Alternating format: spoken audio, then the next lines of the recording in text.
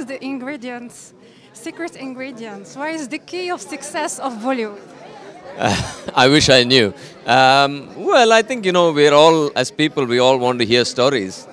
Uh, and it's a different form of stories, right? We're, we're happy to be told a story, which is why I think that while we speak about all this, I think uh, while we're talking about artificial intelligence, I don't think artificial intelligence will write scripts because actually I want to sit down and be told a story.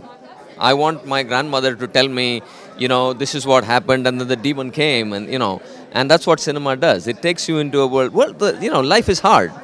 You know, all of us have very, very hard lives and everyone's life is as hard. And you want to move away from that for two hours, sit in a dark room and watch something happen and feel good and feel hopeful. So I think hope, it's always hope. And that's what drives it, which is why I think films that actually get people to the theaters, and I'm and taking no uh, offense to films that, that, that are made for different reasons, will be ones with hope. At the end, you want to feel, okay, you know what? Something out there is going to work. My life's going to be better. I'm going to have a great time. I'm going to fall in love, and I'm going to eat good food, and I'm going to win. You know, and I think that's the story. Do you think that cinema is a science?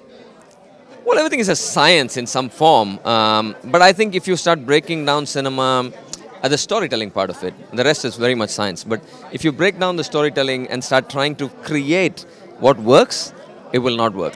It has to come from something inside. It has to be passion. It has to be something I want to talk about. Uh, I think that's that's the most honest. It needs to be honest.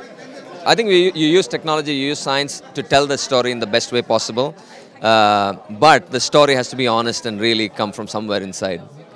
Uh, what do you think about uh, Moroccan cinema? I've actually not seen Moroccan cinema. I wish I had, um, but I will check it out now. Um, uh, I, I, haven't watched a Moroccan film actually, unfortunately, but I will look. I'm in love with your country. I mean, it's a beautiful, beautiful country. Uh, the people are super nice.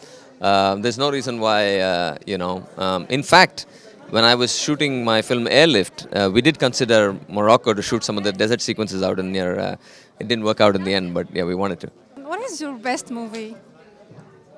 Oh, there are too many. There are too many. You know, I like, um, you know, I would say Godfather. I would say there's a Spanish film called Todo Sobre Mi Madre.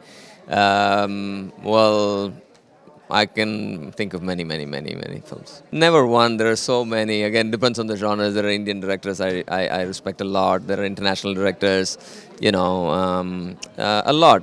Pedro Almodovar, Martin Scorsese, Robert Altman, Guru Dutt, um, to name a few, uh, you know, um, Japanese, uh, you know, so lots of them.